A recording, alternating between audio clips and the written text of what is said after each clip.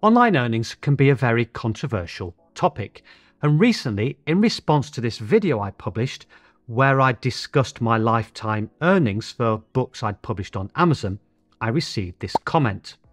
So, I wanted to discuss this comment in a bit more depth, but more importantly, I wanted to show you something that may change your perspective on how to look at earnings from a business that creates digital products to sell online and may indeed change your views on running an online business. Now, if you've not been to this channel before, then welcome. My name is Paul Marles, and I do videos on how to make it, keep it, and grow it. And that's your money I'm talking about. And if you do like videos like that, then please do give it a thumbs up, hit the subscribe button, and smash that notification bell. So, I received this comment.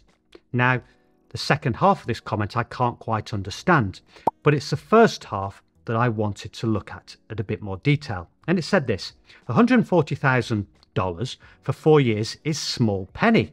140 minus taxes equals around $100,000 maximum, and this money is divided by four years and equals 25k per year, and this is with 2,000 published books. This is very sad. So, first of all, I want to look at something that's incorrect, and that's around the taxes. Now, if you did earn $140,000 in one year, yes, you may be left with $100,000, but this wasn't earned in one year, it was over a number of years. And this is going to be the case going forward. So, if we take that amount over four years, we could say, okay, $35,000 per year. So, I ran this through a few online tax calculators and came up with these figures. So $35,000 after tax in the USA comes out to around $30,000. Now, this was for the state of New York. Now, I know it does vary in different states. I'm not sure if New York is actually a, a higher taxing state than others, but it came out to this figure. In the UK, $28,500, Australia, $29,500. So I think we could safely say this works out after tax to around $30,000. Now, yes, I now all different countries have different tax rules and it's going to be different in different countries, but we're just going to take an average here for these three countries. So if you then multiply that by four years, you're left with $120,000 after tax and not the $100,000 it says here. So the next statement made here is that this is small penny.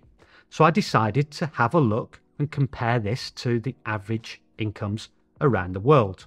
And so we have this table, and it would come in at around position 29, South Korea, just below the average earnings for somewhere like Italy, but higher than average earnings for countries like Brunei, Spain, Portugal, Saudi Arabia, Greece, etc. And, you know, a lot of my viewers come from countries like India, Bangladesh, and Morocco, where you can see that the average wage is a lot, lot less than this $35,000 per year. And also, a lesson that I've learned is that it doesn't matter where in the world you live. It's not so much about what you earn, but about what you spend. And that makes a difference when it comes to building wealth and achieving the goals that you actually want to achieve. So, this sort of statement actually makes me quite angry because this is a very blinkered view of what's going on in the world, and I think quite an arrogant statement to make. Now, the next bit of this comment it says here, this is with 2,000 published books. This is very sad. Now, I'm not sure what the sad component is, but this kind of implies that I spent four years creating these books as a full time job and earning this amount of money. When in fact, I created the bulk of these books within the first 12 to 18 months of starting this business. And it wasn't as a full time job. I did this as a side hustle, and it was whilst I was working a full time job. And that's the beauty of a lot of these types of businesses. You can start them, you can do them as a side hustle to your main job. So, those books I created early on have gone on to bring in this income, which brings me onto this concept here of passive income. And this is where I want to start changing your perspective on how to look at incomes from these types of businesses, where you are creating digital products, you're publishing them online, and they sit on a platform and wait for customers to buy them. This can be on platforms like Amazon, Etsy, Redbubble. There's many different types of platforms. You could even do it on your own website. Yes, you may have to get some work to bring in traffic, platforms like Amazon, where they provide you with a lot of traffic, pro- products literally sit there, wait for people to buy them. Now, I have heard experts, financial experts, say that, you know, there's no such thing as a passive income. But let me show you this. This is my best selling book. I published this on June 3rd, 2018, and has brought in since then total royalties of $39,916. Now, I haven't had to do anything to that book since I published it. I've never run ads on it. I've never changed the cover, never changed the interior. I barely look at it. I occasionally look to see where it's ranking or what its bestsellers rank. That's it.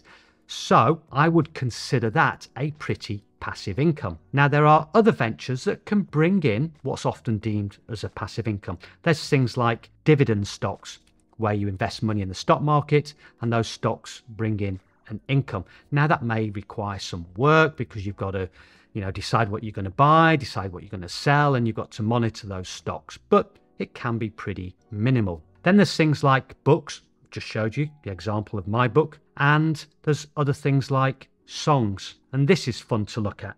Anyone recognize this chap? Well, it's Noddy Holder, and he's the lead singer of a band called Slade, who in 1973 published the hit song Merry Christmas, Everybody and it's estimated that he currently earns, or the band currently earns, between 500,000 to 1 million pounds a year, which equates to around $600,000 to $1.2 million per year. So I'm sure there's still a little bit of work that may need to be done with that, but I would say that a big chunk of that is pretty passive. Then you've also got things like people that hold patents that can bring in as well passive income. Now, when I break down the sales of my best selling book, just to reiterate this, 2019, I received an income of just under $1,500. 2020, just over 11,500. 2021, just over 15,000. And then 2022 was similar to 2020. So again, no work has been put in. This has brought in a steady income. So when I look at income like this, I always ask myself this question How much would I need as a lump sum, a pot of money? How much would I need invested to bring in an equivalent amount of money, which in this case is $35,000? Well, I'm going to work on the premise that we get about a 7% per annum return on our money. Why 7%?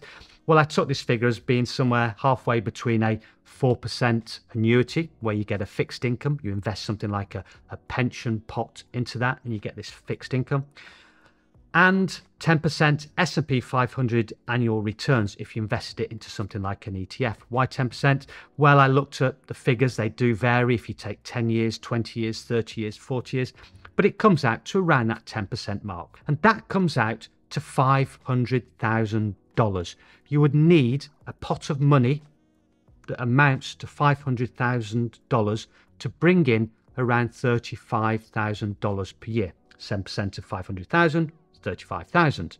Now, in reality, you would actually need a bigger lump sum than this because not only would you want to take a percentage as income, but you'd also want to have a percentage of that growing that pot of money as well to account for inflation. Nowadays, you'd need a decent additional amount of um, return to cover the amount that you'd be losing due to inflation. So, the next thing we can look at to put this into even more perspective is how much would we need to save per year to get to that $500,000 mark? And that's if we saved money and it was growing at that 10% annual growth that we worked out from the S&P 500. So how much would we would need to save per year to get to $500,000?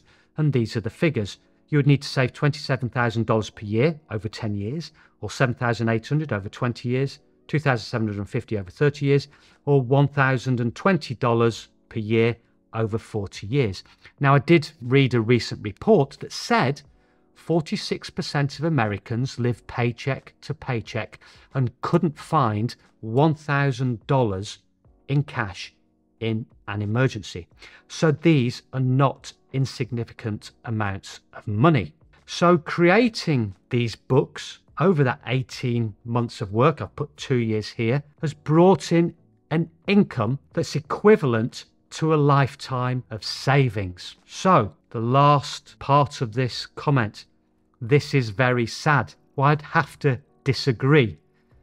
I would say it's not sad at all that you can start a business and bring in a passive income that equates to a lifetime of savings. Now, there's also some other things to look at when building a business, and that is the skills learned. You can use these skills that you learn to start and create other online businesses. I did it. I went on to create a YouTube channel, and hopefully, the skills I've learned from creating books, from doing a YouTube channel, I will then use to go on to create yet another business. But you can use skills you learn to do things like provide graphic design services, provide services as a book cover designer, or become expert in a component of creating books.